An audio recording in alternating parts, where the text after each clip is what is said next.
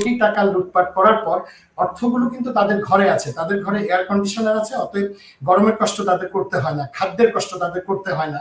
দুর্বিষহ যে খাদ্য দ্রব্য সেটা তাদেরকে প্রভাবিত করে না। এক সালের পর থেকে আজ অবধি কিন্তু বাংলাদেশের জনগণের ভোটাধিকার প্রয়োগ কিংবা ভোটের যে প্রতিফলনে দুটোর কোনো একটা হয়নি। সালে দুইশো তিরানব্বইটা আসন পেয়েছিল আওয়ামী লীগ। মাত্র সাতটা আসন পেয়েছিল অন্য, পাঁচটা ছিল আপনার স্বতন্ত্র, দুইটা ছিল সমাজতান্ত্রিক এবং জাতীয় লীগের ঘর।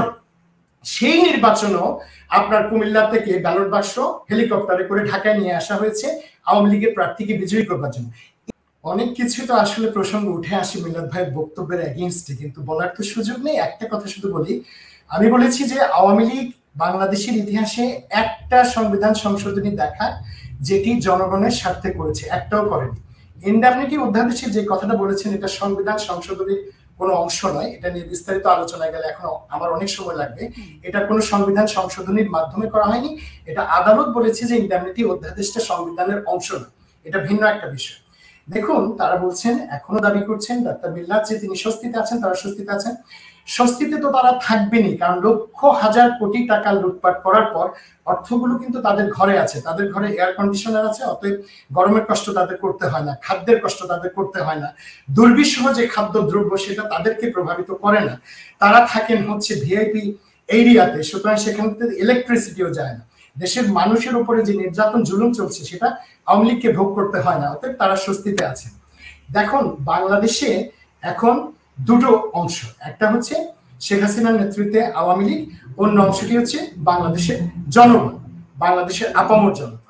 এখন অপশন হচ্ছে দুটো। আওয়ামী লীগের হাতে অপশন হচ্ছে, আমি বিনয়ের সাথে বলতে চাচ্ছি, হাসিনা ওয়াশ, যেটি আমি বলেছি যে হাসিনা ইলেকশন করবে এবং হাসিনা ওয়াশের মাধ্যমে বাংলাদেশের জনগণকে তাদের ভোটাধিকার বঞ্চিত করবে। আর জনগণের হাতে অপশন রয়েছে বাংলা ওয়াশ জনগণ শেখ হাসিনা এবং এই আওয়ামী লীগকে বিতাড়িত করবে এবং জনগণের ভোটের অধিকার প্রতিষ্ঠিত করবে। দেখুন দু হাজার এক সালের পর থেকে আজ অবধি কিন্তু বাংলাদেশের জনগণের ভোটাধিকার প্রয়োগ কিংবা ভোটের যে প্রতিফলনে দুটোর কোনো একটা হয়নি। যেমন দু হাজার আট সালের কথা, ধরুন সেটা কিন্তু গোড়াতেই গল সেই নির্বাচনটাতে আওয়ামী লীগ কিন্তু সেনা সমর্থিত রাষ্ট্র নিয়ন্ত্রকদের সাথে সমঝোতা করেছিল। আমি যে বলেছি নেগোসিয়েটেড ইলেকশন এটার একটা উদাহরণ হচ্ছে সেই ইলেকশনটি আওয়ামী লীগের তৎকালীন সাধারণ সম্পাদক আব্দুল জলিল বলেছিলেন যে সেনা সমর্থিত যে রাষ্ট্র নিয়ন্ত্রকরা, তাদের সাথে সমঝোতা করে আওয়ামী লীগ ক্ষমতা এসছে। তো এই যে তারা তখন জনগণ যে ভোট দিয়েছে, ভোটের প্রতিফলন ঘটেনি এবং পরবর্তীতে দু হাজার চোদ্দ এবং দু আঠারোতে একটা নতুন প্রজন্ম, পুরো একটা প্রজন্ম ভোটাধিকারই প্রয়োগ করতে পারে। তো আজকে আমাদের আসলে কমিটমেন্টটা হচ্ছে বাংলাদেশের জনগণের ভোটাধিকার প্রতিষ্ঠিত করতে হবে। আপনি দেখেন বাংলাদেশের ইতিহাসে এই পর্যন্ত এগারোটি জাতীয় নির্বাচন হয়েছে, সেই উনিশশো তিয়াত্তর সালে। গোড়াতেই, বিসমিল্লাতেই গল তিয়াত্তর সালে দুইশো তিরানব্বইটা আসন পেয়েছিল আওয়ামী লীগ। মাত্র সাতটা আসন পেয়েছিল অন্য, পাঁচটা ছিল আপনার স্বতন্ত্র, দুইটা ছিল সমাজতান্ত্রিক এবং জাতীয় লীগের ঘর। সেই নির্বাচনও আপনার কুমিল্লা থেকে ব্যালট বাক্স হেলিকপ্টারে করে ঢাকায় নিয়ে আসা হয়েছে আওয়ামী লীগের প্রার্থীকে বিজয়ী করবার জন্য। এই যে ইতিহাস, আমি যে এগারোটা নির্বাচনের কথা বললাম, এগারোটা নির্বাচনের মধ্যে চারটা নির্বাচন ছিল তত্ত্বাবধায়ক সরকারের অধীনে। এই চারটা নির্বাচন যে কোনো ভাবেই হোক, সারা পৃথিবীতে বাংলাদেশি বা অন্যান্য রাষ্ট্রের মানুষদের কাছে এটা গ্রহণযোগ্য হয়েছিল, এটা অ্যাকসেপ্টেবিলিটির জায়গাটাতে এটা উতরে গেছে। তাহলে আজকে কিন্তু আমাদের এই তত্ত্বাবধায়ক সরকার ব্যবস্থা কিন্তু বাস্তবায়ন ছাড়া কিন্তু কোনো উপায় নেই। আজকে তারা যত স্বস্তিতেই থাকুন, তারা যতবারই বলুন, তাদের একটা, দেখুন, কথার একটা সিরি আছে।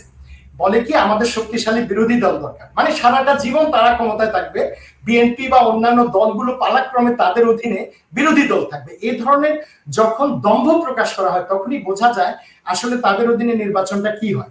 আমি আবারও বলছি, আমরা হাসিনা ইলেকশন হাসিনা ওয়াস্ট হতে চাই না। সুতরাং জনগণ যেটা করবে, বাংলা ওয়াশ করবে। আমি একটা কথা বলে শেষ করব।